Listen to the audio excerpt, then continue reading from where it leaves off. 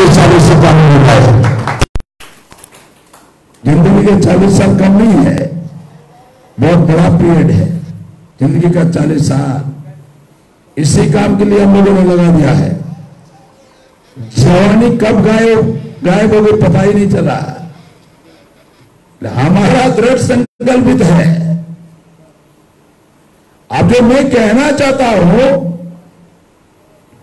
कि भारत का जो मीडिया है टीवी चैनल है अखबार है। ये हमारी समस्या पर ज़िक्र करता है, समस्या पर डिबेट डिस्कस करता है अलग अलग एक्सपर्ट लोगों को बुलाता है, लेकिन एक बात पर बिल्कुल चर्चा नहीं करता कि समस्या के निर्माता कौन है किनकी वजह से समस्या निर्माण हो रही है, इसके ऊपर बिल्कुल चर्चा नहीं करता। जिस दिन समस्या निर्माण करने वालों को हमारा समाज पहचान लेगा, उसी दिन परिवर्तन का काम शुरू हो जाएगा। हम समस्या के ऊपर चर्चा ज़्यादा करते हैं। हमारी ये समस्या, हमारी वो समस्या है। समस्या निर्माण करने वालों की चर्चा शुरू कर दो समाज में। बंदोबस्त हो जाएगा। क्योंकि दोस्त दुश्मन की पहचान हो जाएगी। फिर हमारे लोग दुश्मन के झांसे में नहीं फंसेंगे साथियों, आप किसी भी महापुरुषों का नारा लगाना चाहते हो, मुझे ऐतराज नहीं है। लेकिन केवल नारा लगाने, केवल नारा लगाओगे, केवल नारा लगाओगे और उनके साहित्य का अध्ययन नहीं करोगे, उनके जीवन का संघर्ष का अध्ययन नहीं करोगे और केवल आँख बंद करके नारा लगाओगे, मुझे इस बात का बिल्कुल ऐतराज है। बिल्कुल इस बात का ऐतराज है। अगर वो आप उनके जीवन संघर्ष को पढ़ोगे ही नहीं। आप उनकी किताबें पढ़ोगे ही नहीं। उनसे प्रेरणा लेनी चाहिए, प्रेरणा लोगे नहीं। केवल प्रशंसा करोगे तो प्रशंसा और प्रेरणा में अंतर है। प्रशंसा करने वालों की जिम्मेवारी नहीं होती, और जो लोग प्रेरणा लेते हैं महापुरुषों से, उनकी जिम्मेवारी होती है ज़िंदगी भर उनके मार्ग पर चलना। ज़िंदगी भर उनके मार्ग पर चलना। केवल प्रशंसा करने करने वालों की जिम्मेवारी नहीं होती, वो तो फ्री हो जाते हैं। चौदह अप्रैल को हमारे लोग पूरे देश में नहीं मनाते क्या? अब पंद्रह अप्रैल के बाद गायब। ये बात मैं इसीलिए कहता हूँ कि जो बात बाबा साहब अंबेडकर खुद ने कहा, वो बात समझाना चाहता हूँ। कि बाबा साहब डॉक्टर बाबा साहब अंबेडकर के अनुयायियों ने, उनके भक्तों ने, उनके मानने वाले लोगों ने बाबा साहब अंबेडकर के पास गए और उन्होंने कहा कि बाबा साहब, हम आपकी जन्म जयंती मनाना चाहते हैं। आप आइए। डॉक्टर बाबा साहब अंबेडकर ने मना कर दिया कि मैं जन्म जयंती में नहीं होने वाला हूँ। बोला, नहीं, आपको आना पड़ेगा, हमारा आग्रह है, हमने तैयारी करके रखी है। तो बोला, केवल ज़िंदगी में एक बार आऊँगा, दोबारा नहीं आऊँगा। यहाँ गए बाबा साहब अंबेडकर और डॉक्टर बाबा साहब अंबेडकर ने जो संदेश दिया, मैसेज दिया। अपने कार्यकर्ताओं को, अपने अनुयायियों को, अपने भक्तों को, अपने मानने वाले लोगों को मैसेज दिया। कि सिर्फ़ मेरी जय जयकार मत करो। मेरा अधूरा कार्य है, उसको पूरा करने के लिए अपनी जान की बाजी लगा दो। अब जो लोग नारे लगाते हैं, जब जय जय जय भीम, उनको पूछा जाए अच्छा बाबा साहब का अधूरा काम कौन सा बताओ तो। जो लोग कहते हैं, बाबा बाबा तेरा मिशन अधूरा, हम लोग करेंगे पूरा। उनको पूछा जाए कि मिशन कौन सा अधूरा रह गया बताओ थोड़ा। नारे लगाना आसान है। मिशन चलाना कठिन है। जानकारी नहीं होगी तो कहाँ से चलेगा? तो वहाँ पर जब बाबा साहब ये मैसेज दे रहे थे, वहाँ पर एक तरुण भारत का एक पत्रकार बैठा हुआ था, जिसका नाम था मार्को तो उन्होंने बाबा साहब से सवाल पूछ लिया कि बाबा साहब, आपके जीवन संघर्ष का, आपकी सफलता और विफलता का आपको बताओ, कहाँ तक आप सफल हुए?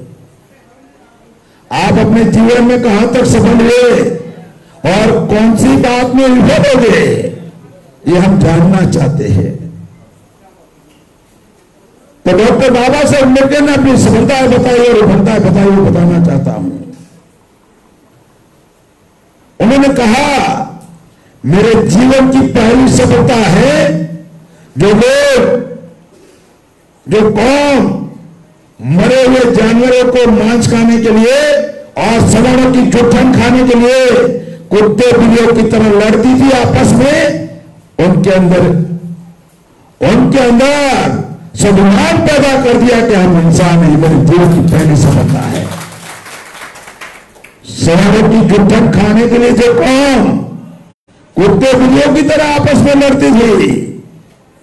उनके अंदर मैंने संविधान पैदा कर दिया मेरे जीवन की पहली सफलता है कि हम भी इंसान है। मेरे जीवन की दूसरी सफलता है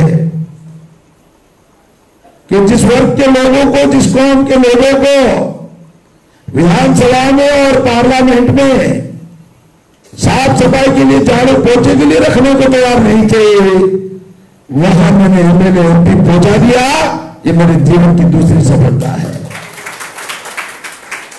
विधानसभा पार्लियामेंट में झाड़ू झाड़ू झाड़ू निकालने के लिए भी रखने को लोग तैयार नहीं थे।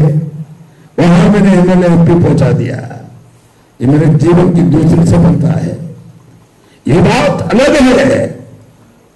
कि वो पार्टियों को वफादा देते और समाज के साथ गद्दारी करते हैं। ये बात अलग है, लेकिन बाबा साहब ने पहुँचाया। मेरे जीवन की तीसरी सफलता है? हज़ारों साल जिनके बच्चों के लिए स्कूल के दरवाजे बंद थे, शिक्षा के दरवाजे बंद थे, मैंने प्राइमरी एजुकेशन से लेकर हायर एजुकेशन और फॉरन एजुकेशन के दरवाजे खोल दिए। स्कॉलरशिप से लेकर प्रिंसिप कार्ड से लेकर फॉरन एजुकेशन की लोन से लेकर, हज़ारों साल से जिनके बच्चों के लिए दरवाजे बनते स्कूल के, उनके उनके लिए दरवाजे खोल दिए प्राइमरी एजुकेशन से लेकर हायर एजुकेशन तक का। और जो मेरी जीवन की चौथी विफलता है, जो नहीं कर पाया कि मैंने S C S T OBC और माइनॉरिटी का कोई राष्ट्रीय स्तर का संगठन नहीं बना पाया। शेड्यूल कास्ट फेडरेशन बनाया था। उसकी वजह से संविधान सभा में गए, आदिवासियों का प्रावधान किया, ओबीसी के लिए इस्तीफा दिया, संगठन का विस्तारित करना चाहते थे। कि मैं इनके लिए राष्ट्रीय स्तर का कोई प्लेटफॉर्म नहीं बना पाया। उम्र के तकाजा था उम्र उम्र के मुताबिक वो काम नहीं कर पाया। और उन्होंने कहा भी कि अगर एस सी ओबीसी के लोग इकट्ठा आएँगे तो गोविंद वल्लभ पंत भी आपके जूते के फीते खोलेंगे और बांधने में गर्व महसूस करेगा। और ये बात उस ब्राह्मण के सामने कही गोविंद वल्लभ पंत के सामने, उत्तर प्रदेश के मुख्यमंत्री के सामने, कि ये समाज अगर इकट्ठा हो गया तो जिन लोगों ने आपको गुलाम बनाया वो आपके जीते, जूते के फीते खोलेंगे और बांधने में मजबूर हो जाएँगे। लेकिन वो काम मैं नहीं कर पाया हूँ। तो हमने सोचा कि वो जो काम करना चाहते थे वो नहीं कर पाए। वहीं से हम लोगों ने काम शुरू किया है। गाँव से बहुत से शुरू होता है से को संगठित करने के लिए। मैं और महत्वपूर्ण बात बताना चाहता हूँ, जो ज़रूरी है। उन्होंने काउंटर किया है जो अल्पसंख्यक साढ़े तीन प्रतिशत ब्राह्मण है, उन लोगों ने मेजोरिटी में कन्वर्ट करने के लिए अपने आप को, देखो डिवाइड एंड रूल की पॉलिसी अंग्रेज़ों की नहीं थी, ब्राह्मणों की थी। अंग्रेज़ आया नहीं था, तब भी हज़ारों जातियाँ थी। अंग्रेज़ चला गया, तब भी हज़ारों जातियाँ हैं। डिवाइड एंड की पॉलिसी अंग्रेज़ों की थी। अंग्रेज़ों की नहीं, ब्राह्मणों की थी। उस समय डिवाइड एंड रूल था। आज क्या हो गया? यूनाइटेड रूल हिंदू के नाम पर सबको इकट्ठा करो। आदिवासियों को वनवासी के नाम पर इकट्ठा करो। वाल्मीकि जाति के नाम पर इकट्ठा करो, हिंदू के नाम पर सबको इकट्ठा करो, हम सब हिंदू एक है। और साढ़े तीन प्रतिशत वाले लोग जब मेजोरिटी में कन्वर्ट हिंदू के नाम पर इकट्ठा करते हैं तो अपने आप मेजोरिटी में कन्वर्ट हो जाते हैं। और इसी वजह से मुसलमानों को टारगेट करते हैं। मुसलमानों के विरोध में हमारी मानसिकता निर्माण करते हैं।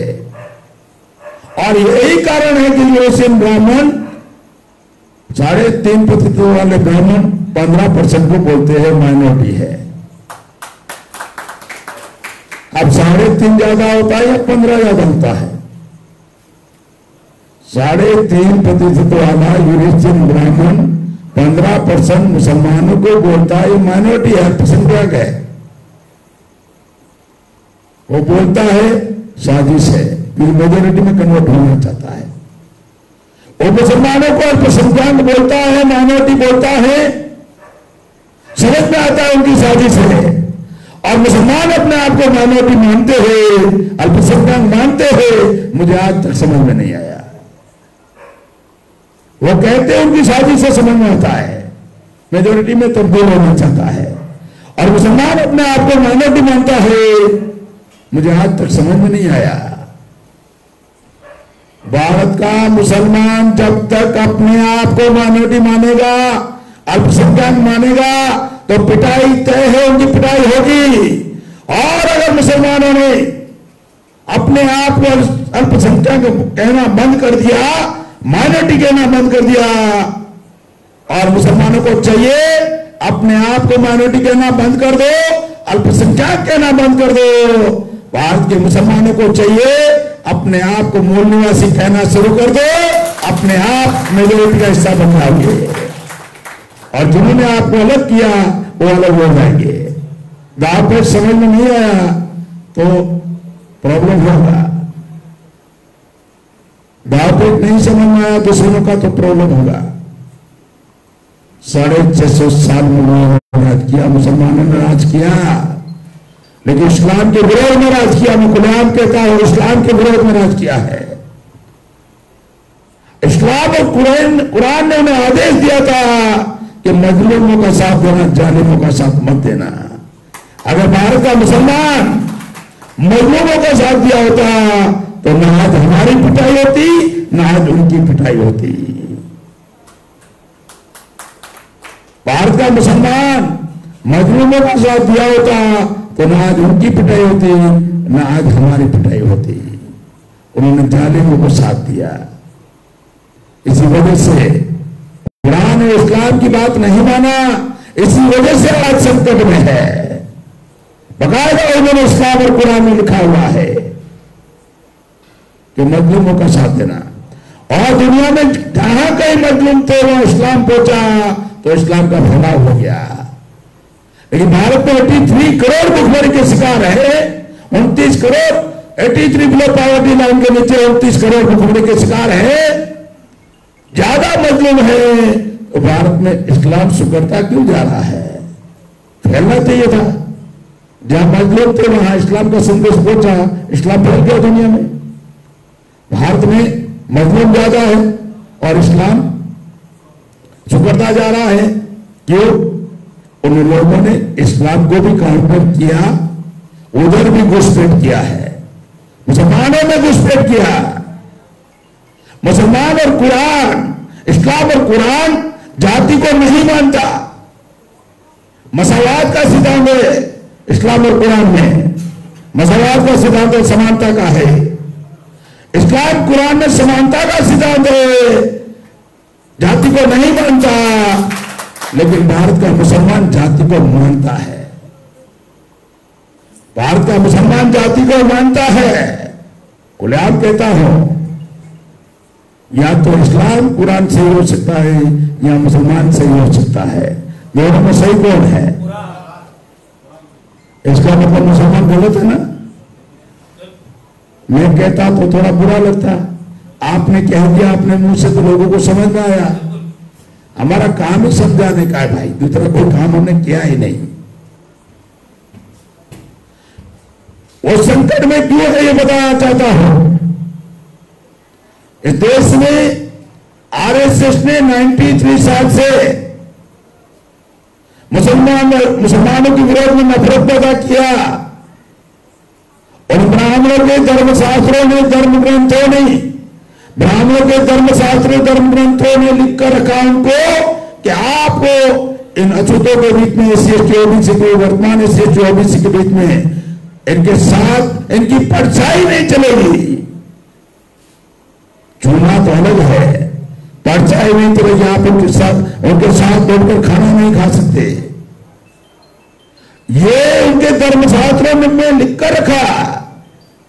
लेकिन मुसलमान, उन्होंने ब्राह्मणों ने अपने धर्मशास्त्रों के विरोध में जाकर धर्मशास्त्रों के विरोध में जाकर एस सी ओबीसी के बीच में जाते हैं, मुसलमानों के विरोध में नफरत पैदा करने के लिए। 93 साल से आरएसएस ने पैसा लगाया, बुद्धि लगाया, सब कुछ इन्वेस्ट किया, ताकि इनको हथियार के तौर पर हम इस्तेमाल कर सके। और मुसलमानों के धर्म मुसलमानों के धर्म शास्त्र में लिखा है कि मजलूमों का साथ देना मजलूम में जाना चाहिए था।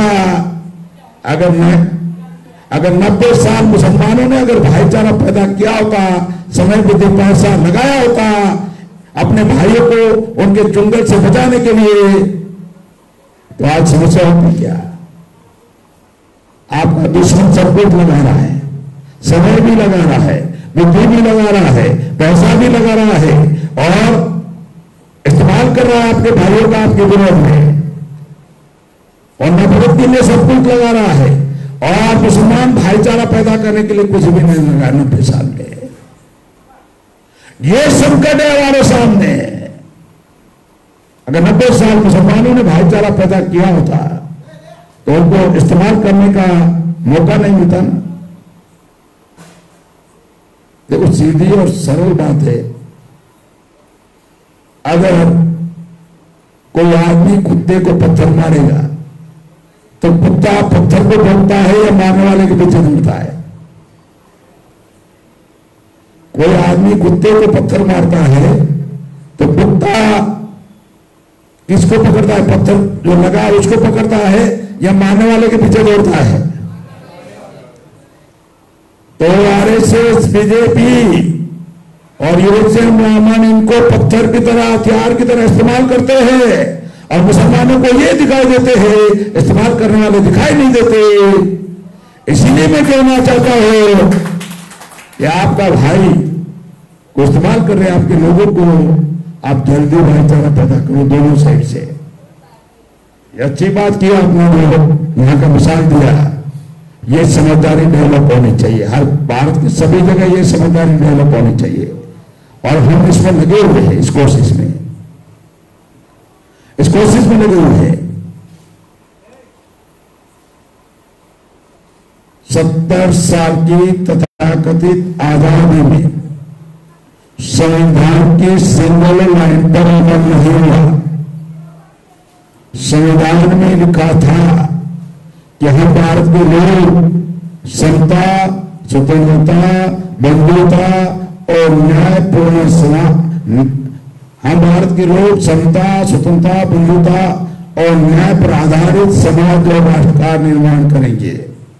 संविधान की पहली लाइन है, क्या भारत में समानता प्रस्तावित हो क्या असमानता खत्म हो गई? क्या अन्याय अत्याचार खत्म हो गया? क्या शोषण खत्म हो गया? क्या जातिवाद खत्म हो गया क्या? अरे जिस देश में राष्ट्रपति को जाति के आधार पर अपमान किया जाता है, सत्तर साल के बाद भी, और कोई सबूत चाहिए क्या जातिवाद का? राष्ट्रपति का जाति के नाम पर इंसेंटिव किया जाता हो। पुष्कर में हुआ, जगन्नाथ के पूरी मंदिर में हुआ। राष्ट्रपति सबसे बड़ा प्रथम नागरिक है, वायुसेना जल सेना थल सेना का चीफ कमांडर है। उसको अगर जाति के आधार पर अपमान होता हो तो हमारे, मेरा और आपका कोई है कुछ वैल्यू ये चल रहा है। क्योंकि हज़ारों साल जिनके पास अधिकार था, आज उन्हीं के पास अधिकार है, संविधान पर अमल हो करे या न करे, उन, संविधान उनके नियंत्रण में है। संविधान में सब कुछ आपका है। सब लेकिन है उनके नियंत्रण में ना। अगर आपके नियंत्रण में होता तो आप संविधान पर अमल करते। उनके नियंत्रण में नहीं कर रहे खत्म कर रहे हैं। आपके नियंत्रण में होता तो आप अमल करते। उनके नियंत्रण में है, वो नहीं करेंगे। आप उनसे उम्मीद करोगे कि हमारे संविधान पर अमल क्यों नहीं करते? नहीं करने वाले हज़ारों साल उन्होंने इस बात को हज़ारों साल हमारे पुरखों के साथ उन लोगों ने ऐसा व्यवहार किया है। हज़ारों साल ऐसा व्यवहार किया है। मैं आपको और महत्वपूर्ण बात बताना चाहता हूँ। 28 अक्टूबर 1951 डॉक्टर बाबा साहब अंबेडकर ने पंजाब के जालंधर ज़िले में डीएवी कॉलेज में एक स्पीच किया, एक भाषण किया, उस विषय, उस भाषण का जो विषय रखा गया था, कि भारत का लोकतंत्र और भारत का भविष्य कैसा होगा? जो लोकतंत्र है, उसका भविष्य कैसा होगा? फिफ्टी वन में बाबा साहब ने बता दिया, कि जो लोकतंत्र है इसका भविष्य कैसा होगा? इस विषय पर बाबा साहब अंबेडकर ने स्पीच किया है? अब बाबा साहब बढ़कर तो लोकतंत्र की सोच समझ में नहीं आएगा ना? स्पीच किया। कि अगर लोकतंत्र बरकरार रखना है तो लोकतंत्र बरकरार रखने की दो पूर्व शर्त है। दो पूर्व शर्त है। नंबर एक मज़बूत विरोध पक्ष चाहिए। देश में मज़बूत विरोध पक्ष चाहिए। और नंबर दो, पारदर्शी और निष्पक्ष चुनाव होना चाहिए। अगर ये दो बातें नहीं होगी तो लोकतंत्र खत्म हो जाएगा। ये दो बातें नहीं होगी तो लोकतंत्र खत्म हो जाएगा। तो उन्होंने भारत में मज़बूत विरोध पक्ष पैदा करने नहीं दिया। एक भी, एक तो मज़बूत विरोध पक्ष पैदा करने नहीं दिया और दूसरा निष्पक्ष चुनाव कभी करने ही नहीं दिया। जब भारत पाकिस्तान अलग नहीं हुआ था तो विरोध पक्ष में मुस्लिम लीग था। उस समय मुसलमानों को साढ़े तैतीस प्रतिशत रिजर्वेशन था। लखनऊ पैक्ट के तहत, लखनऊ समझौते के तहत, साढ़े तैतीस प्रतिशत मुसलमानों को रिजर्वेशन था। अब साढ़े तैतीस मुसलमानों को और साढ़े बाईस एस दलित आदिवासी को तो कितना हो गया? साढ़े तैतीस और साढ़े बाईस।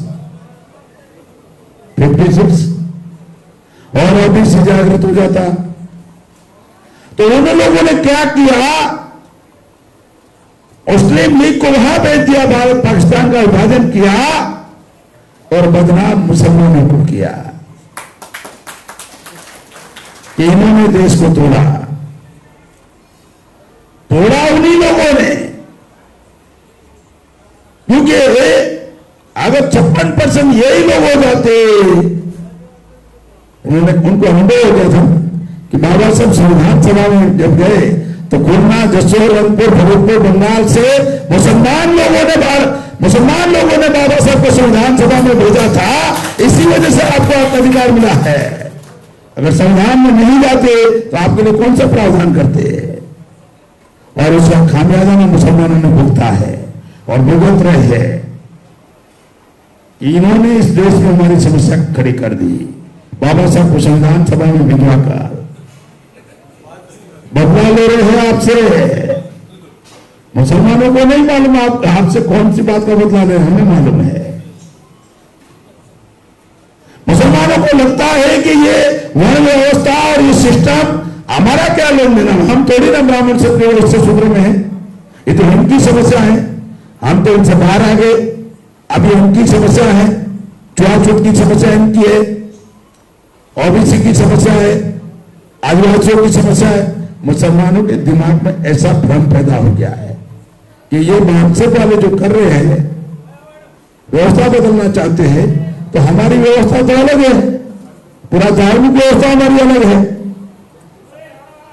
आपके पुरखों ने व्यवस्था को छोड़ दिया, गुलामी की व्यवस्था को लात मार दिया। और छोड़ दिया इस्लाम को कबूल किया, आपने व्यवस्था को छोड़ा। व्यवस्था आपको छोड़ रही है क्या? बदला नहीं ले रही मॉब लिफ्टिंग के नाम पर बदला नहीं ले रही, यही लोग है ना।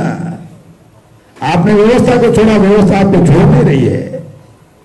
कि तुमने गुलामी छोड़कर हमारे दायरे से तुम बाहर गए, हमारे विरोध में तुमने काम किया, हमारी व्यवस्था को खत्म करने के लिए डॉक्टर अंबेडकर को वहाँ भेजा।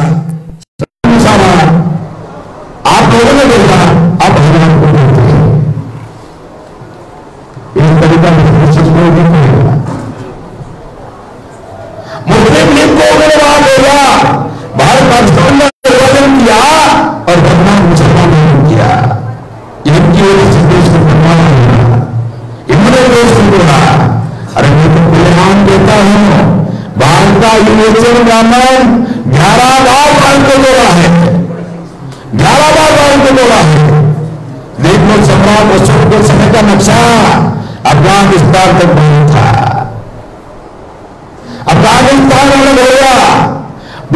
बलूचिस्तान अलग हो गया पाकिस्तान अलग हो गया बांग्लादेश अलग हो गया क्यों? मुस्लिमान और मुसलमान का आधार इस्लाम, और इस्लाम का आधार मुसलमान समान था, और मुस्लिम का आधार असमान था। असमानता की व्यवस्था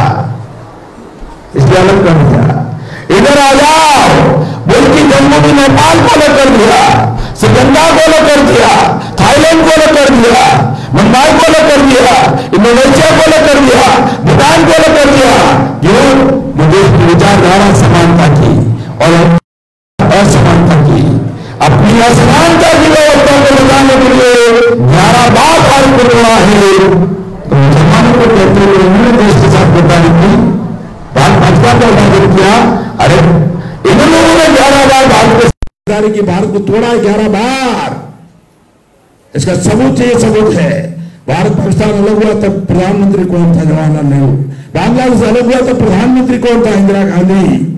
जब जब भारत अलग हुआ, एक पाँच आरएसएस के लोग थे। तो मैंने, मैं, मुझे उन्होंने पूछा, आपकी पार्टी का एजेंडा क्या है? मैं तो समझ गया। मेरे से कुछ निकालना चाहते हैं। तो मैंने उनसे कहा, हम लोग जिस दिन सत्ता में आ गए तो आधार कार्ड नहीं होगा बीपीएल कार्ड नहीं होगा, डीएनए कार्ड होगा। अब डीएनए का नाम सुने और उनको बेचैनी ना हो, ऐसा हो कैसे सकता है? मेरे को आप डीएनए की बात क्यों करते हो? तुम्हें क्या प्रॉब्लम है? नहीं नहीं, आप डीएनए की बात क्यों करते हो? डीएनए कार्ड होगा। तो मैंने कहा, आप बोलते हो कि बांग्लादेशी घुस जाते हैं, पाकिस्तानी घुस जाते हैं, विदेशी लोग भारत में घुस जाते हैं, ऐसा आरएसएस, बीजेपी वाले चिल्लाते रहते हैं। तो डीएनए कार्ड जारी कर देना, कौन कौन विदेशी भारत में घुसा अपने आप पता चल जाएगा। तो टीवी वालों कहा डायरेक्टर को कहा, इनको दोबारा बुलाना मत। तो बोला, क्यों? उन्होंने जवाब दिया, आप इससे सवाल करो ना। नहीं, इनको बुलाओ तो हमें मत बुलाओ। या इनको बुलाओ या हमें बुलाओ, इनको बुलाओ मत। इसलिए मैं कह रहा हूँ, मुसलमानों को तुम बुलाते हो टीवी पर, इधर हमको बुलाकर देखो ना। क्या टीवी तुम्हारी, स्टूडियो तुम्हारा, तुम्हारे दस लोगों को बिठाओ और हमारे हम लोग अकेले को बुलाकर देखो क्या हाल करते तुम्हारा। बुलाकर तो देखो हम लोगों को। पूरी पूरा मैसेज चला जाएगा, पूरे भारत में। ये चल रहा है। ग्यारह बार भारत को तोड़ा। और यही कारण है एकमात्र, कि भारत में इतिहास यूनिवर्सिटियों में इतिहास कॉलेजों में इतिहास केवल बारह सौ साल का पढ़ाते, मुगल आयतन से पढ़ाते हैं। अंग्रेज़ आयतन से पढ़ाते उनकी मानसिकता, ये उनकी मानसिकता काम करे, ये संविधान को जलाने की समानता का है ना, इसके अंदर सब कुछ अधिकार आपके है ना। हज़ारों साल अधिकार वंचित रखा, आपको अधिकार मिल गया, ये इनकी तकलीफ़ है। तकलीफ़ है उनकी। मैं किस्सा बताता हूँ, आपको जल्दी समझ में आ जाएगा। गुजरात बॉर्डर है। गुजरात में राजकोट एक जिला है।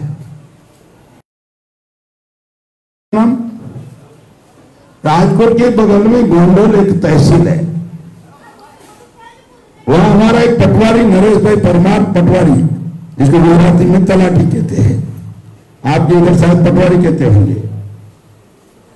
तो उसके पास गोंडल के राजा का बेटा विलायत से पढ़कर, अब जायदाद, ज़मीन जायदाद राजा के पास होती है। तो ज़मीन के कागज़ के लिए गए पटवारी के पास। आज टाइम नहीं मेरे पास।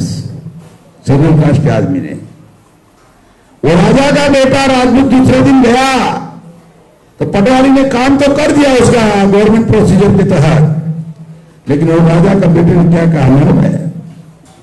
कि नरेश भाई, आपके लोग बाबा साहब की कीमत नहीं समझ पाए।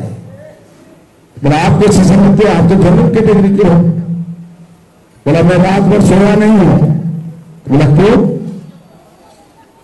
बोला, कल तक आपके पुरखे आपके बाप दादा हमारी हवेलियों के बाहर खड़े रहते थे और हमारे बाप दादा और हमारे पुरखे कहते थे, जाओ, कल आना, जाओ, भगाते थे। और कल जब आपने मुझे कहा, कल आना तो मैं रात भर सोचता रहा कि इसकी औकात कैसे हो गई? इनकी औकात कैसे हो गई कि राजा के बेटे को बोलते, कल आना ये आपकी औकात बाबा साहब अंबेडकर ने बनाई, आप लोग बाबा साहब को नहीं पहचान पाए। आप लोग नहीं पहचान पाए बाबा साहब अंबेडकर को।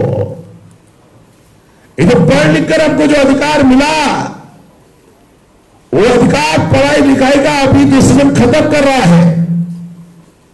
तरीका बदल दिया उन्होंने। डायरेक्ट आपको मना करता कि आपको पढ़ने का अधिकार नहीं है तो तो भारत में विद्रोह हो जाएगा, क्रांति हो जाएगी, आर पार की लड़ाई हो जाएगी। तो तरीका बदल दिया उन्होंने। नया तरीका बनाया। कौन सा तरीका बनाया?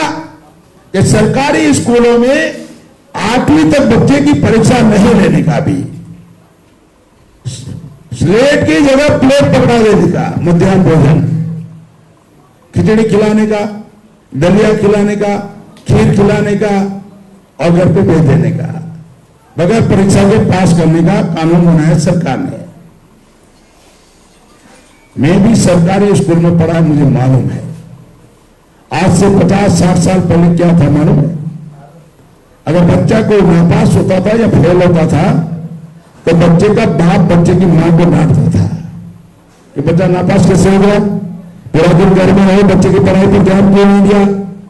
चलो बच्चे को ट्यूशन लगाओ या फिर बच्चे का बाप स्कूल में जाकर, या बच्चे की माँ स्कूल में जाकर मास्टर को कहती थी कि दो साल हो गया मेरे बच्चे को अभी तक कुछ आता नहीं। कैसे पढ़ाते हो आप?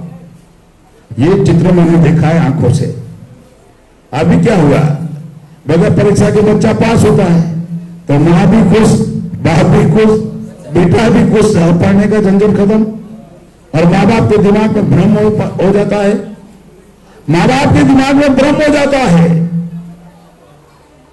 कि मेरा बच्चा इतना होशियार है कभी भ्रम नहीं होता। अब जब परीक्षा होगी तब पता चलेगा ना कितना होशियार है। फिर बोर्ड का एग्ज़ाम आएगा तो फेल हो जाएँगे। फेल हो जाएगा नापास होगा।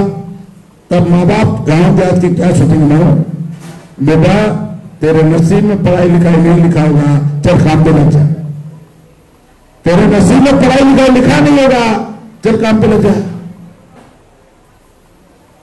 हमारे बच्चों का भविष्य खत्म कर रहे हैं, कानून बनाकर आज डॉक्टर बनाना हो तो एक करोड़ रुपया चाहिए।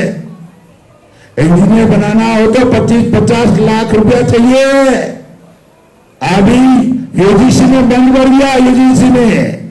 एक शेड्यूल कास्ट के आदमी को सुखदेव थोरात को चेयरमैन बनाया यूजीसी का यूनिवर्सिटी ग्रांट कमीशन का, और उससे साइन दिया प्रस्ताव पारित कर दिया कि अभी यूनिवर्सिटियों को यूजीसी ग्रांट नहीं देगी। सेल्फ फाइनेंसिस कॉलेज हो गई सब। यूनिवर्सिटियाँ सेल्फ फाइनेंसिस हो गई। एक करोड़ रुपया चाहिए डॉक्टर बनाने के लिए इंजीनियर बनाने के लिए, एक पच्चीस, पचास लाख रुपया चाहिए। एजुकेशन खत्म कर रहे हैं। और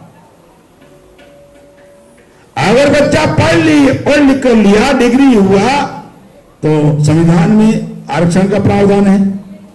तो आप कहेंगे कि हमारा इतना इतना बैकलॉग आप क्यों नहीं भरते हो? सरकारों को सवाल पूछते हो कि हमारा एस इतना बैकलॉग है, सरकार भरने वाली है। अभी उन्होंने नया तरीका बनाया कि रिजर्वेशन खत्म होना चाहिए। तो सारे सरकारी डिपार्टमेंटों को आजकल प्राइवेट कंपनियों को दे रहे, ठेके पर दे रहे हैं। हमारे गुजरात में उधर जी भी था पहले, गुजरात इलेक्ट्रॉनिक बोर्ड। अभी टोरंटो को दे दिया पीजीवीसीएल बना दिया। पहले पीएमटी होता था, बाद में बीएसएनएल बना।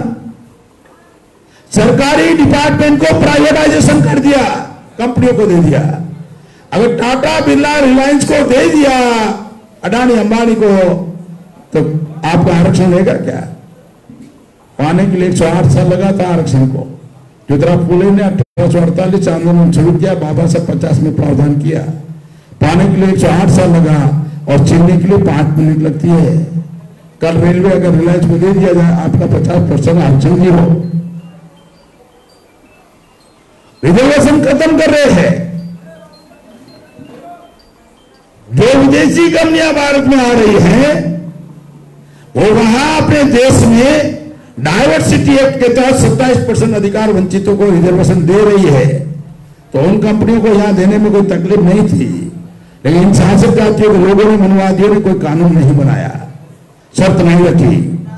और उनके बच्चों को खतरा पैदा हो गया कि हम उनके सामने नहीं टिक पाएँगे बड़ी बड़ी कंपनियों के सामने।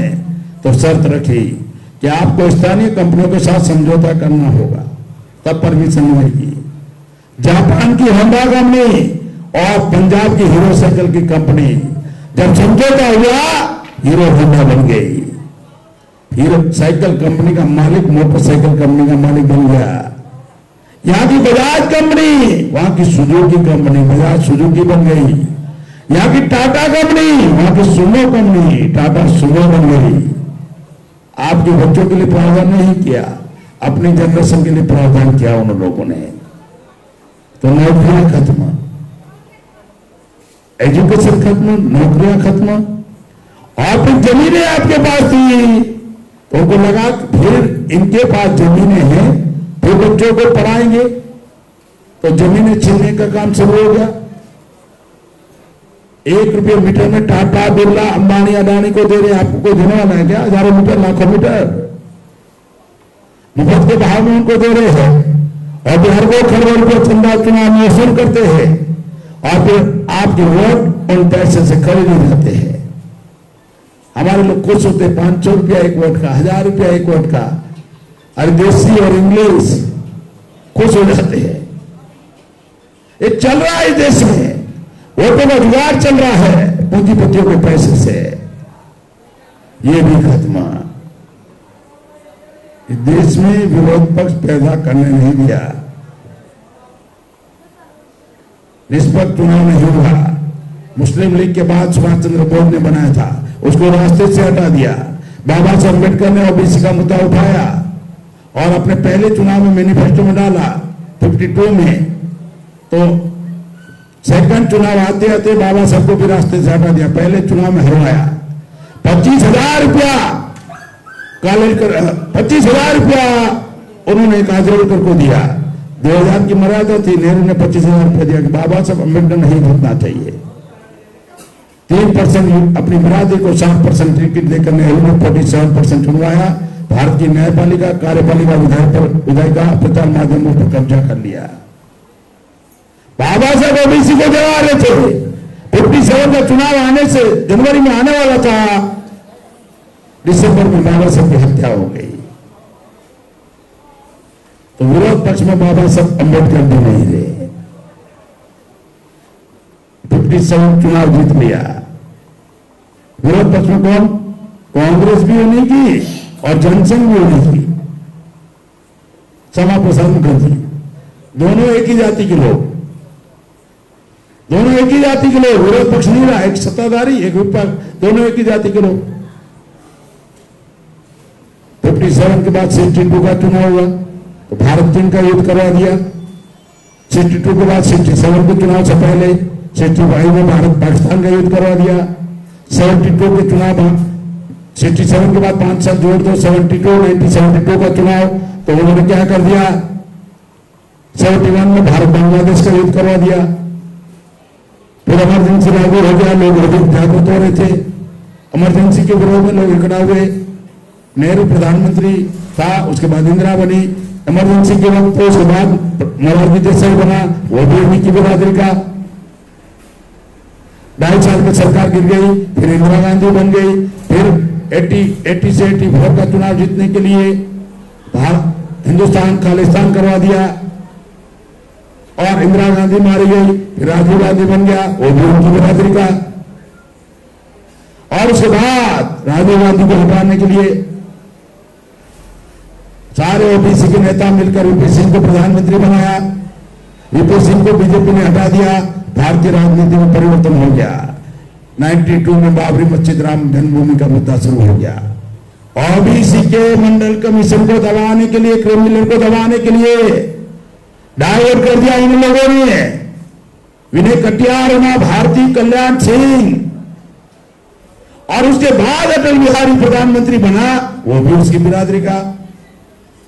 तेरह दिन में बना, तेरह महीने में बना। फिर कारगिल का युद्ध हो गया। फिर 2002 का गुजरात कांड हो गया। मैं बहुत भयानक आपको बता रहा हूँ चित्र। अरे देश में राष्ट्रपति के पद का भी इस्तेमाल करते हैं। अपनी सुविधाओं से बनाते हैं। जब बाबू जगजीवन राम इस देश में राष्ट्रपति के पद का भी इस्तेमाल करते हैं सुभाष चंद्र बोस मारा गया कास्ट बिरादरी का था। तो उन्होंने ठंडा करने के लिए राजेंद्र प्रसाद कास्ट बिरादरी को राष्ट्रपति बनाया। भारत पाकिस्तान का विभाजन हुआ, मुसलमानों को ठंडा करने के लिए जाकिर हुसैन को राष्ट्रपति बनाया। उसके बाद भारत बांग्लादेश का युद्ध मुसलमानों को ठंडा करने के लिए फखरुद्दीन अली अहमद को राष्ट्रपति बनाया। उसके बाद सरदारों को खालिस्तान वर्ष हिंदुस्तान में सिखों का कत्लेआम हुआ, ठंडा करने के लिए ज्ञानी जैल सिंह को राष्ट्रपति बनाया। उसके बाद गोगरा कांड में मुसलमानों को कत्लेआम हुआ उसको ठंडा करने के लिए एपीजे अब्दुल कलाम को राष्ट्रपति बनाया। आज सभी कास्ट की पिटाई हो रही है अत्याचार बढ़ गया है। तो रामनाथ कोविंद को राष्ट्रपति बनाया। भयानक परिस्थितियाँ भारत में चल रही है। ये आपको किताबों में मिलने वाला नहीं, ये नॉलेज आपको किताबों में नहीं मिलेगा। और उसके बाद, एक यूपीए कांग्रेस, तीन साढ़े तीन परसेंट मामलों की पाँच राष्ट्रीय पार्टी है। कांग्रेस बनाने वाले लोग गोखले तिलक गांधी अगरकर, नेहरू, इंदिरा नेहरू इंदिरा, राजीव, सोनिया, राहुल, प्रियंका, अब प्रियंका के बच्चों का नाम मालूम नहीं है। कांग्रेस ने आरएसएस बनाया। डॉक्टर हेडगेवार गुरु गोलवंकर बाला साहब देवराज सुदर्शन भागवत वो भी जनसंघ बना। श्यामा प्रसाद मुखर्जी, बीजेपी बना। अटल बिहारी वाजपेयी, वो भी वही। Communist party M N Roy Dange Chatterjee Banerjee Mukherjee वर्तमान में विंदा करात सीताराम येचुरी प्रकाश करात वो भी वही जयललिता वो भी उन्हीं की बिरादरी की ममता बनर्जी वो भी उन्हीं की बिरादरी की दो हज़ार नौ में इन पाँच पार्टियों के सारे एमपी कितने मालूम है तीन सौ पचहत्तर थे और 2014 के चुनाव में 411 है पाँच सौ में से 411 आपके सांसद उनके पॉकेट में पड़े हुए हैं। पाँच सौ तैतालीस में से चार सौ ग्यारह। मेंबर ऑफ़ पार्लियामेंट हाई यही है। उनके पॉकेट में पड़े हैं। कहा है डेमोक्रेसी आप जो डेमोक्रेसी बता रहे हो लोकतंत्र कहाँ है? मीडिया हंड्रेड परसेंट उनके कब्जे में, न्यायपालिका उनके कब्जे में पार्लियामेंट विधायिका उनके कब्जे में। है है क्या आपके पास? आपके पास आखिरी हथियार था वोट का? वो अभी ईवीएम मशीन आ गई। जब कांचीराम साहब ने कहा, वोट हमारा राज तुम्हारा नहीं चलेगा नहीं चलेगा।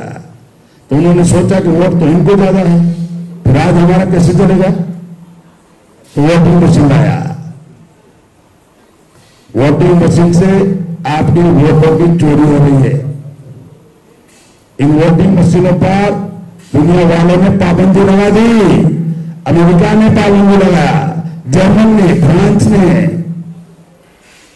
जापान ने, नेदरलैंड ने, कैलिफ़ोर्निया ने, इटली में तुर्की में यूक्रेन में पाकिस्तान में भी ईवीएम मशीन ही वोटिंग मशीन ही बैलेट पेपर है। पहले कागज़ होता था ना मतपत्रक आप निशान देकर ठप्पा मारते थे, उसको आप फोल्ड करके मतपेटी में डालते थे, आपको तसल्ली होती थी। कि जिसको वोट देना था उसको दिया है मैंने। आजकल बटन दबाते हो, वोट नहीं चला का मालूम वो आर एस एस बीजेपी के लोग, वो बीजेपी के लोग कहते हैं कि तीन देशों में तीन तलाक पर पाबंदी है तो भारत में क्यों नहीं हो सकता? मैं कहता हूँ 120 देशों में वोटिंग मशीन पर पाबंदी है तो भारत में क्यों नहीं हो सकता? 120 में पाबंदी है मशीनों पर। तो भारत में क्यों नहीं हो सकता? ये चल रहा है आपके वोटों की चोरी हो रही है। आठ अक्टूबर 2013 को सुप्रीम कोर्ट का जजमेंट है कि मशीनों से निष्पक्ष चुनाव नहीं हो सकता। उसमें पर्ची निकलनी चाहिए जो बटन दबाया निशान, उसकी पर्ची निकले, वो बॉक्स में जाए, उसकी काउंटिंग होनी चाहिए। 2014 का चुनाव बगैर बगैर पर्ची के हो गया। अलग अलग राज्यों के चुनाव बगैर पर्ची के हो गए। आपके वोटों की चोरी हो रही है। आसान तरीका है। मोबाइल तो आजकल सबके पास है। अगर मोबाइल में आपने किसी का नंबर कॉल डाउनलोड करके रखा है, वो अगला आदमी आपको कितनी बार भी कॉल करेगा? घंटी कहाँ बजेगी? मैं आसान तरीका बता रहा हूँ। आपने जिसका नंबर कॉल ड्राइवर पर रखा है, वो आपको आपका नंबर मिला रहा है। उसके पास उसका नंबर है नहीं। आपको मिला रहा है और आपका कॉल अपने आप उधर चला जाता है ना? घंटी बजती है ना? मोबाइल एक इलेक्ट्रॉनिक चीज़ है। ईवीएम मशीन भी इलेक्ट्रॉनिक चीज़ है। आपका कॉल डाउनलोड हो सकता है। तो आपका वोट डाउनलोड नहीं हो सकता क्या? दो लाख सत्रह हज़ार एटीएम दो लाख सत्रह हज़ार एटीएम मशीन एक दिन में फिक्स कर दिया था नोटबंदी के वक्त कि आपके अकाउंट में कितना भी पैसा हो? चौबीस सौ से ज़्यादा नहीं निकलेगा। आप एटीएम कार्ड चाहे अहमदाबाद लेके जाओ, चाहे जोधपुर लेके जाओ, चाहे दिल्ली लेके जाओ, चाहे बॉम्बे लेके जाओ, या दुनिया, भारत के किसी कोने में लेके जाओ। फिक्स कर दिया था ना? दो लाख सत्रह हज़ार एटीएम मशीनों ने फिक्स कर दिया। एटीएम मशीन भी इलेक्ट्रॉनिक आइटम है। जब नोट कितना निकलेगा, ये फिक्स कर सकते हैं। तो वोट कितना निकलेगा मशीन में से फिक्स नहीं कर सकते क्या? दो लाख सत्रह हज़ार एटीएम मशीनों को फिक्स कर दिया। आपकी वोटों की चोरी हो रही है।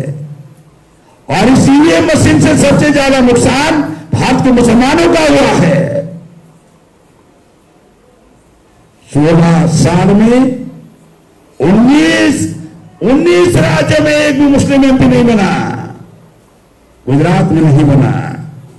राजस्थान में नहीं बना, मध्य प्रदेश में नहीं बना, महाराष्ट्र में नहीं बना, हरियाणा में नहीं बना, पंजाब में नहीं बना, चंडीगढ़ में नहीं बना, हिमाचल में नहीं बना, गोवा में नहीं बना उन्नीस उत्तर प्रदेश में नहीं बना।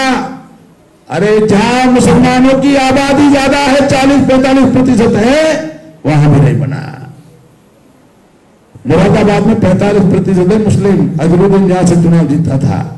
वहाँ भी बीजेपी जीत गई। मुसलमानों, मुसलमान बीजेपी को वोट दे नहीं सकता। तो उस एरिया में बीजेपी जीत कैसे सकती है? Voting machine. आपके वोटिंग आपके वोटों की चोरी हो रही है।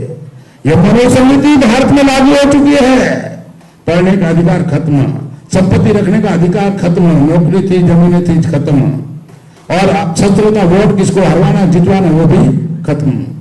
आपकी आने वाली पीढ़ियाँ गुलाम होने वाली है और परमानेंट गुलाम हो जाएँगी। इसलिए हम लोगों ने जल्द से जल्द एक करोड़ लोगों को इस काम के लिए तैयार कर रहे हैं। पूरे भारत में एक करोड़ लोगों तैयार कर रहे हैं कि हम सुप्रीम कोर्ट को लिख कर देंगे कि हमारे मौलिक अधिकारों का रक्षण करो, संविधान ने आपको पावर दिया है। नागरिकों का मौलिक अधिकार है स्पीच वाणी स्वतंत्रता है ना?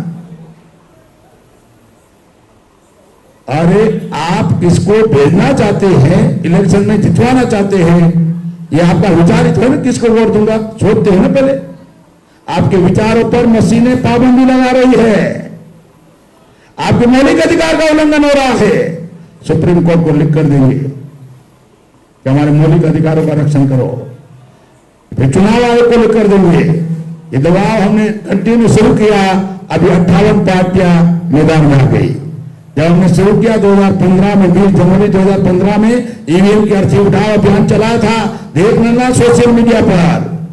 बहुजन मुक्ति पार्टी के माध्यम से चलाया था। तब केजरीवाल को मालूम नहीं था, तब मायावती को मालूम नहीं था, तब लालू यादव को मालूम नहीं था, अखिलेश को मालूम नहीं था। हमने सबसे पहले शुरू किया। अभी अट्ठावन पार्टियाँ हमारा अनुसरण करती है। ये जो चल रहा है इस देश में, एक करोड़ लोग तैयार कर रहे हैं। और फिर चुनाव आयोग को लिख कर देंगे, हमारे इधर बैलेट पेपर नहीं बैलेट पेपर चाहिए ईवीएम नहीं चाहिए। डीएम कलेक्टर को लिख कर देंगे। और उसके बाद भी नहीं माना तो हमारे आने वाली पीढ़ियों को बचाने के लिए एक करोड़ लोग मैदान में आएँगे, फिर ईवीएम को कोई नहीं बचा पाएगा। तो ईवीएम का बंदोबस्त होगा फिर तो जब तक तोड़ेंगे नहीं, तब तक छोड़ेंगे नहीं। क्या करोगे? एक करोड़ को जेल में डालोगे। उसका परिवार चार पाँच का है। पाँच करोड़ हो गया। उसके रिश्तेदार चार पाँच के हैं, दस करोड़ हो गया। उसके उसका फ्रेंड सर्कल चार पाँच का है, पंद्रह करोड़ हो गया। दस, पंद्रह करोड़ लोग रोडों पर आ जाएँगे। दुनिया वालों को पता चल जाएगा, भारत में लोकतंत्र नहीं है नौटंकी चल रही है। दुनिया वालों को पता चल जाएगा। और पंद्रह करोड़ जब रोड पर आ जाएँगे तो क्रांति हो जाएगी, ये बहुजन क्रांति मोर्चा इसलिए बनाया क्रांति करने के लिए। ये मकसद छोटा नहीं है। आने वाली पीढ़ियों को आज़ाद करने के लिए। है आपके संविधान को बचाने के लिए सरेआम संविधान जल रहा है और चप्पन नीचे सीने वाला कुछ नहीं बोल रहा है। झांसे में माहिर है। दो करोड़ नौकरियाँ, पंद्रह लाख भ्रष्टाचार, विकास विकास हाँ? गरीब, हटा, महँगाई कम करेंगे, दुनिया भर का चल रहा है। उसका वन पॉइंट कार्यक्रम है।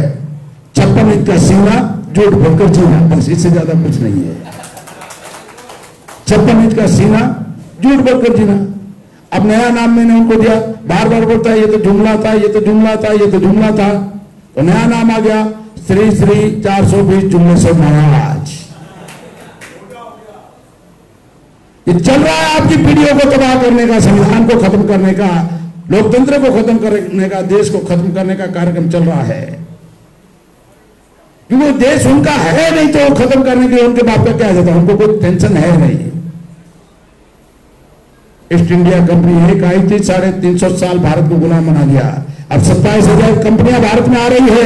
एक कंपनी को हज़ार गनमैन रखने की छूट है तो सत्ताईस हज़ार कंपनी इनको एक हज़ार गनमैन सत्ताईस लाख की फौज कंपनियों की हो जाएगी और भारत की फौज सोलह लाख की है। देश को भेजने का काम चल रहा है, बहुत भयानक चल रहा है। ये संविधान को खतरा है, देश को खतरा है, आने वाली पीढ़ियों को खतरा है, और लोकतंत्र को खतरा है। इसके लिए हज़ारों महापुरुषों ने कुर्बानी दी और सारा का सारा समाप्त हो रहा है। सुभाष चंद्र बोस ने तो शर्त रखी थी कि तुम मुझे आज़ादी दो, मैं तुम्हें खून दूँगा। और तुम मुझे खून दो, मैं तुम्हें आज़ादी दूँगा। बाबा साहब ने सब कुछ शर्त रखा था आपको बगैर शर्त के बाबा साहब ने सब कुछ दे दिया। लेकिन हाँ अपेक्षा ज़रूर रखी थी कि मेरे कारवा को पीछे मत करना मेरे कारवा को आगे लेके जाना। और उन्होंने कहा था ये हमारी लड़ाई सत्ता, संपत्ति की नहीं, आज़ादी की है। ये आज़ादी की लड़ाई के लिए ये क्रांति के लिए कोई सरकारी पैसे से कभी क्रांति होती नहीं। टाटा बिरला अंबानी के पैसे से आप अपनी जनरेशन को बचा नहीं पाओगे, क्रांति कर नहीं पाओगे। परिवर्तन, सरकार के पैसे से कभी परिवर्तन होता नहीं, उद्योगपतियों के पैसे से कभी परिवर्तन होता नहीं। और ये कोई वसुंधरा की यात्रा नहीं है कि सरकारी पैसे से चले। ये हम लोग यात्रा कर रहे हैं। सोलह तारीख से गंगानगर से शुरू हुई। जोधपुर फलोदी होकर जैसलमेर, बाड़मेर, सारे तहसील घूमकर झालोर पाली, आपके आपके यहाँ माउंट आबू सिरोई में आई तो इस यात्रा को और आगे पहुंचाना है, एक करोड़ को तैयार करना, आने वाली पीढ़ियों को तैयार बचाने के लिए। तो ये काम करना चाहिए या नहीं करना चाहिए? छोड़ दो। अगर आप कहोगे नहीं करना चाहिए तो हम बंद कर देते हमारे बाप का क्या जाता है? तो हमारे घर का काम है क्या? इस पर, हाँ, इस परिवार में इस समाज में आपका परिवार है हमारा परिवार भी वही है। करना चाहिए या नहीं करना चाहिए? अगर करना चाहिए तो शुरुआत कब से करनी चाहिए? अगर अभी से शुरुआत करनी चाहिए तो जिस तरह गंगानगर और सारे ज़िले वालों ने हमको यहाँ तक पहुँचाया, परिवर्तन यात्रा को, अब यहाँ से उदयपुर पहुँचाने की जिम्मेवारी आप लोगों की है। इसी परिवर्तन यात्रा का तेल पानी और साधन संसाधन की जिम्मेवारी आप लोगों की है। और आपको, अगर जमा आपका ज़मीन अलाव करता हो, हमारा समाज क्या करता है मन में सब कुछ पाना चाहता है। अरे जिन आरएसएस से लड़ना चाहते हो ना उसका पहला संस्थापक डॉक्टर हेडगेवार अपनी ज़िंदगी दे दी जवानी लगा दी। गुरु गोविंद का एमएससी था उन्नीस का अपने माँ बाप का एक ही लड़का। उन्होंने परिवार को तोड़ नहीं दिया, अपनी ज़िंदगी लगा दी। बाला साहब देवदास, वकील था, सबसे सुपर वकील था। रजू भैया एमएससी था, कुशाभाई ठाकरे बीएससी था। ऐसे हज़ारों पढ़े लिखे लोगों ने मुरली मनोज जोशी इलाहाबाद यूनिवर्सिटी का professor Ashok Singhal metallic engineer. हज़ारों लोगों ने अपनी ज़िंदगी कुर्बान कर दी जवानी कुर्बान कर दी क्यों मालूम है? ये हिंदुत्व की व्यवस्था एज इट इज़ है। हिंदुत्व का आधार क्या है? वर्ण व्यवस्था। वर्ण व्यवस्था का आधार क्या है? जातिवाद। और जाति के आधार पर हमारा अपमान हो रहा है। अधिकार वंचित है। इसलिए बाबा साहब ने कहा, गुलामों को गुलामी का एहसास कराओ। हमको गुलाम बनाए रखने के लिए अपनी ज़िंदगी कुर्बान करते बोलो। और हम आज़ाद होना चाहते हैं। हम मान चाहते हैं, सम्मान चाहते हैं, आरक्षण चाहते हैं, संविधान पर अमल चाहते हैं, स्वाभिमान चाहते हैं, आज़ादी चाहते हैं, सब कुछ चाहते हैं लेकिन मुफ़्त में मिलने वाला है क्या? ये जो इस परिवर्तन यात्रा को यहाँ से आगे पहुँचाने की जिम्मेवारी आपकी है और आपका ज़मीन अलाउ करे। वहाँ दस रुपये दस रुपया, बीस रुपया, पचास रुपया, सौ रुपया, पाँच सौ रुपया, हज़ार रुपया, दो हज़ार रुपया, जितना ज़मीन अलाउ करे। और केवल वही लोग थे जो समाज को आज़ाद करना चाहता है। गुलामी में बरकरार, गुलामी को वो लोग खत्म करना नहीं चाहते। उनके, उनको, उनकी गुलामी हुआ है, उनको हमको, उनसे एक रुपया नहीं चाहिए। अगर समाज और बच्चों को आने वाली जनरेशन को बचाना चाहते हो, वही केवल साथ सहयोग करे। आप साथ सहयोग करोगे इस कार्रवाई को आगे पहुँचाने के लिए। इस आशा और उम्मीद के साथ मेरी बात समाप्त करता हूँ। आपने मेरी बात ध्यान से सुना है, बहुत विस्तार से सुना। और प्रशस्त सुना शांतिपूर्ण सुना। इसलिए लिए मैं आपका शुक्रिया अदा करता हूँ। आपने मेरी बात ध्यान से सुना और जो सुना है, वो लोगों को बताओगे। इतना ही अपेक्षा करके बात समाप्त करता हूँ। पुनः आपका शुक्रिया अदा करते। धन्यवाद। जय निवासी कांति मोर्चा जिंदाबाद बहुजन कांति मोर्चा जिंदाबाद जो साथी इस मोर्चा को आगे बढ़ाने की यात्रा को आगे बढ़ाने के लिए सहयोग करना चाहते हैं वो आमंत्रित है यहाँ आकर आकर साथ के साथ आप सहयोग कर सकते हैं नहीं आप ज़्यादा करें जितना आपसे हो सके उतना आपको करना चाहिए।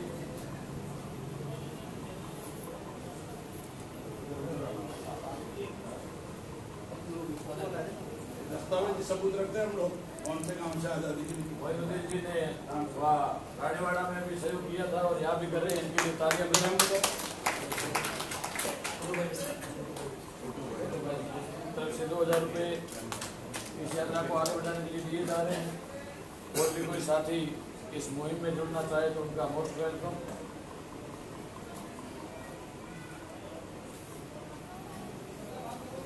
ये आज़ादी का आंदोलन है और व्यक्तिगत किसी का आंदोलन नहीं है।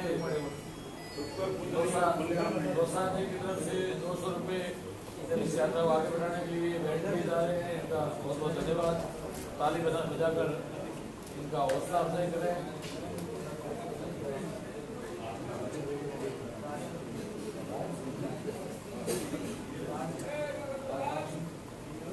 राज की तरफ़ से सौ रुपये इस यात्रा को आगे बढ़ाने के लिए किए जा रहे हैं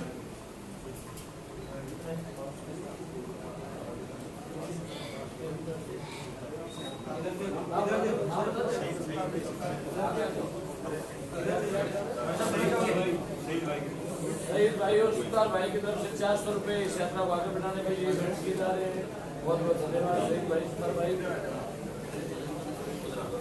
ये यात्रा चलनी चाहिए एस सी एस टी की तरफ़ S T association Abu road की तरफ़ से दो हज़ार all India railway S T S all India railway S C S T association Abu road की तरफ़ से दो हज़ार रुपये यात्रा को आगे बढ़ाने के लिए भेंट किए जा रहे हैं। बहुत बहुत धन्यवाद इसका। आप सभी का बहुत आभार। हो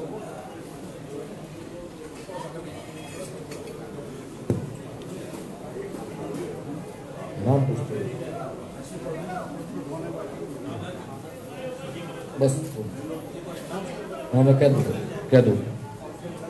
और भी साथी इसमें जो सहयोग करना चाहते हैं, वो बिल्कुल आगे आए। इधर आ जाओ, इधर आ। पठान। नाम बताओ अरबाज पठान की तरफ़ से कितने?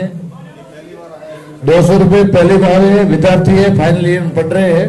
हमारे अच्छे मित्र बन गए हैं, बहुत बहुत धन्यवाद इनका। इस यात्रा को आगे बढ़ाने के लिए और भी कोई साथी आगे आना चाहे तो एक मिनट, अरबाज, एक मिनट साहब के साथ फ़ोटो खिंचवा लो। वो फ़ोटो आया नहीं है फ़ोटो दोबारा खिंचवा हाँ। बहुत बहुत धन्यवाद इनका। और जो भी साथी सहयोग करना चाहे वो जल्दी आ जाए क्योंकि बहुत ज़्यादा समय भी हो गया है। विष्णु कुमार जी की तरफ़ से सौ रुपए। हो हो खाने की सबके लिए व्यवस्था है खाना सब खा के जाए। आपसे विशेष रिक्वेस्ट किया जा रहा है।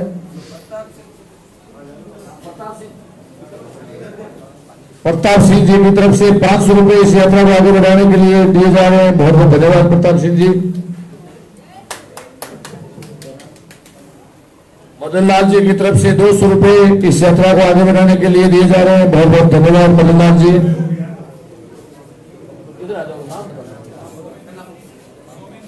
सौमेंद्र जी की तरफ़ से सौ रुपए? सौ रुपए दिए जा रहे हैं मदन-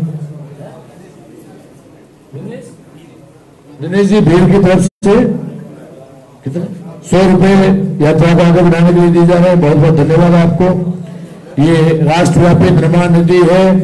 ये आपके खुद के संसाधन है। बिना संसाधनों की क्रांति नहीं होती। संसाधन आपके है तो ये आपकी आज़ादी का आंदोलन है। इसमें हम सबको सहयोग करना चाहिए। खाने की व्यवस्था बनी हुई है यहाँ पर। जो भी साथी यहाँ है, उनके वो खाना यही खाएँ। क्योंकि इन लोगों ने आपके लिए खाना बनाया है तो खाना खराब नहीं होना चाहिए। इसलिए आपको खाना खा के ही जाना है।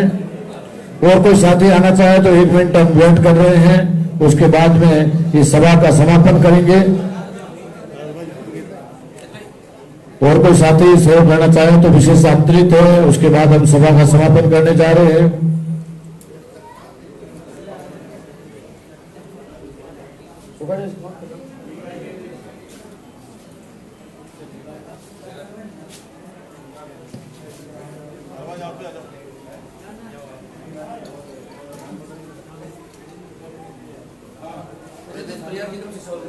गजेंद्र परिहार जी की तरफ़ से सौ रुपए।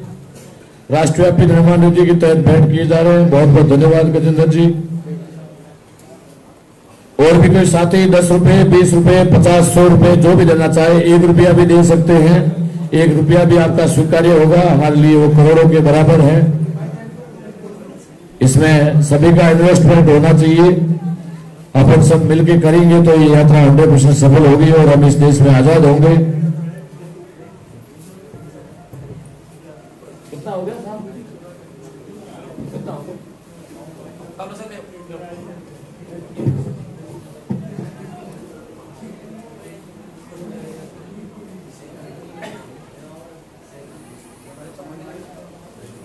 मोहसिन जी मोहसिन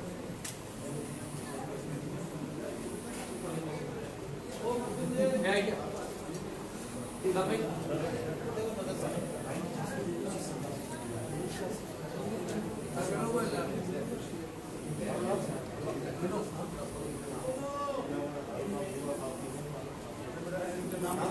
तरुराम जी हाँ अरे सौ रुपये दारूराम जी की तरफ़ से सौ रुपए राष्ट्रव्यापी निर्माण निधि के तहत भेंट किए जा रहे हैं। बहुत बहुत धन्यवाद दारूराम जी। और भी कोई साथी हो तो जल्दी आ जाएँ, क्योंकि हम इस सभा का समापन करने जा रहे हैं। किसी साथी की इच्छा है इस कारवा को आगे बढ़ाने के लिए सहयोग करने की तो विशेष आमंत्रित है। कितना हो गया